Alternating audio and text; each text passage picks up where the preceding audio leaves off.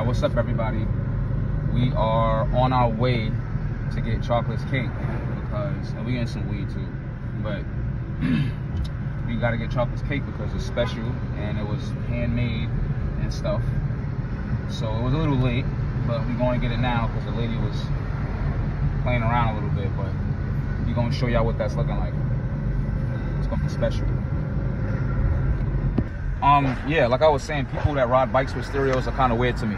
But we got the cake. We went through the most. Long story short, my AC is bugging right now, and we got to get the cake back as soon as possible so that we can put it in the fridge. So we gonna show y'all what everything looked like, of course, but we got to get it in the fridge, let it chill for a minute, because it's like 95 degrees.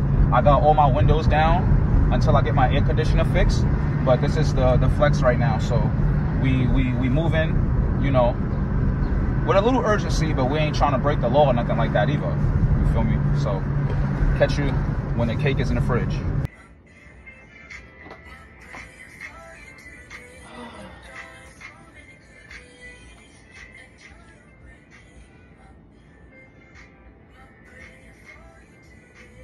All right, y'all. So this is the beautiful chocolate.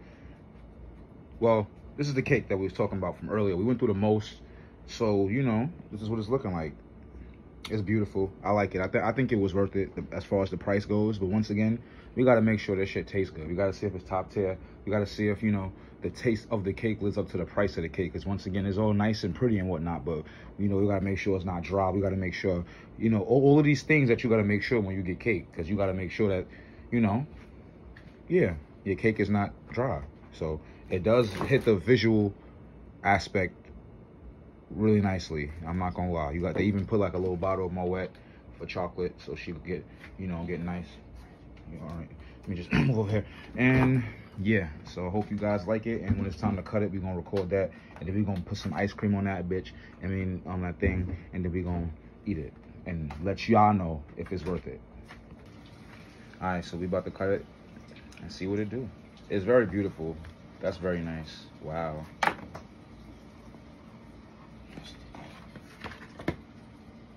Move it down. Wow. What flavor is it again, babe? Um, vanilla buttercream. Very nice. We got some vanilla buttercream. I'm just getting a little small sample because we just had a crazy um, dinner. So I don't want to go too crazy, but let me see the inside, baby girl. Look at that. That is amazing. All right, so we got the cake. I only got a little small piece because it's real, you know, sweets. And I wanted a little bit of ice cream because I never really eat cake without ice cream. They go together very well, in my opinion. But yeah, so we're gonna taste the cake. and give a little rating. Let y'all know. And what's the flavor again, baby? You said Vanilla buttercream. it's vanilla buttercream. So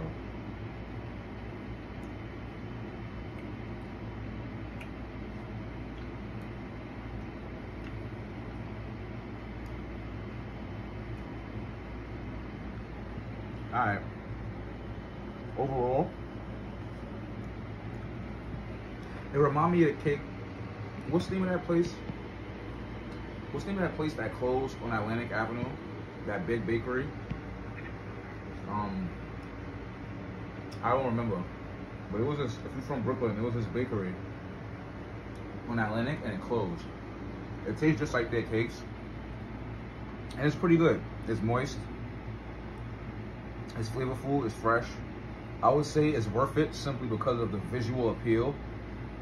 But the cake is not like mind blowing. It's not like it's like going to change my life or anything like that. But I would say I still think it's worth it because the cake is good. It's, it's moist. It's soft. And you know, it, it, it matches how good it looks. So based off of that, I'd say I'm happy with everything. And it tastes pretty good.